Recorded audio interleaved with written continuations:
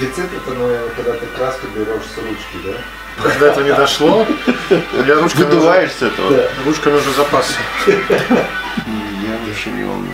Я не успокаиваю. Сказал Роба и надавил лезвием на вены. И у Робы что такая бензопила рядом стоит здесь. Он говорит, «М, я сейчас руку как бы отпи... Ну, домой идите. Я так придете на этом. Что там вам еще? Но на крайний случай, если ручек не будет, то тогда будем сжечь сапоги.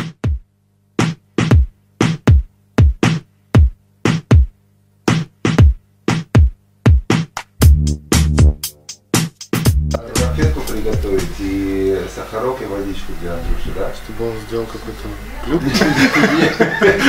Откинулся только. Да, вчера был просто рекорд по- обмороку у мальчика. Он пришел, сел за тот стол рабочий, и мастер с ним начал обсуждать работу.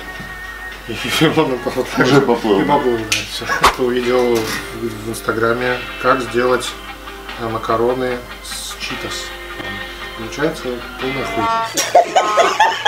Это доели, потому что это такая жирная, отвратительная хрень. А в моем детстве варили макароны, потом их жарили, Это то. хрустящие, чтобы еще можно туда.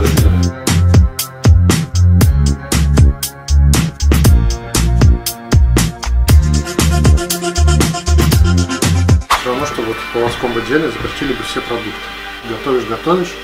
И вот 4 января закон вступил в силу, и вот все, продуктов нет, их нигде не купить. санкции эти ввели, и все продукты исчезли в России. Там фуагра, голуби, я не знаю, тюрбо, ну все, что возможно было. Сейчас я не матерился. Да? Да. Вот такая уже нельзя такие И получилось, что все надо было переделывать. Ты упомянул голуби. Да. Не те, которые в кадрёрге. А, не те, как будто меньше стало. Ты ездил в Данию, Да, опробовал. мозг утки. Да. Прям голова утки с клювом, все. У нее так трепанация черепа сделана. Открываешь, там мозг пожаренный, ты так вилочкой маленькой его ешь. Там же, ну, совсем мало. Ну, ну, мозг-то маленький, конечно. Знаешь, я не такой гурман. Как-то мы пошли в Чайковский, Заказал шницель. там все заказал рис с курицей. Э, Мы поели на не- непонятную сумму огромную и пошли в Макдональдс. Мой фирменный рецепт – это вареный рис, курица, вода и блендер. Вспотело все тело, и джинсы даже мокрые были. Сознание не теряешь, все окей. Что у тебя в Лазером выводили. А, Мне кажется, Ренат, это больше реакция на меня. Ладно, мальчики, хранились заснуть. давай, спасибо. Будьте здоровы. Жена не готовит, плохо готовит, поэтому я думаю, ну хоть сделаю кайфово. Но ты же не будешь просто вот делать блюдо. Вот, ну, Нет, да мне, ладно. мне надо, Да, надо- надо до конца. всё.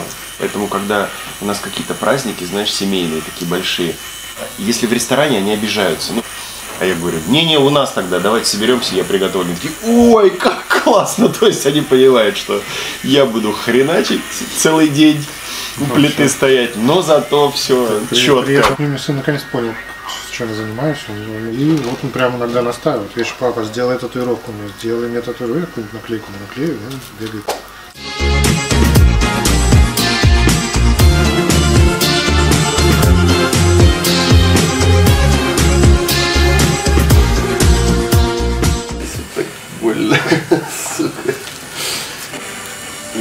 Тут вообще. Новое место просто. Могут э, ходить в разные дорогие рестораны, а в Москве их там, ну, с два- двадцатка, наверное, 20 штук. Так вот, мне надо этого гостя удержать как-то, поэтому его надо чем-то все время удивлять. Ты старое все время меню, но он будет говорить, ну, блин, что, одно и то же я ем, там уже надоело. Как раз таки я наоборот. Вот мне не нравится блюдо, я его ем. Я буду ходить в это заведение, потому что мне нравится Да, это блюдо. да, да. И я очень расстраиваюсь, когда прихожу свой любимый А его раз и нет да, этого кебаб, а Да. его нет. Ты ходишь в это место только за этим блюдом.